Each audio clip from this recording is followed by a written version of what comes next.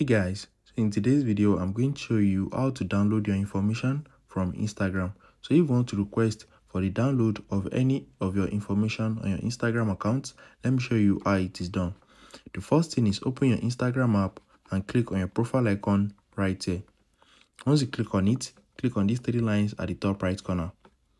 Once you click on that scroll down and click on your activity. You don't have to scroll down. Once you click on your activity, scroll down to the bottom and you're going to download your information. So click on it. Once you click on download your information, it's going to take you to this place right here. So now click on download or transfer information.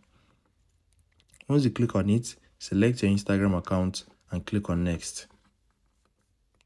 Once you click on next, select some of your information. So if you request for all available information, this is going to take a lot of time to be ready just click on some of your information. Once you click on it you can now select the information that you want to request for.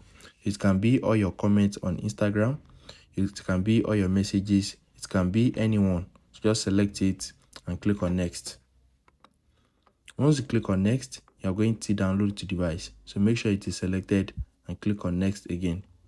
Once you click on it click on date range and you need to select the time that you want to request the download. It can be last week last month, all time, last year, or any one of your choice. You can also create a custom date range. So click on save and now click on create file.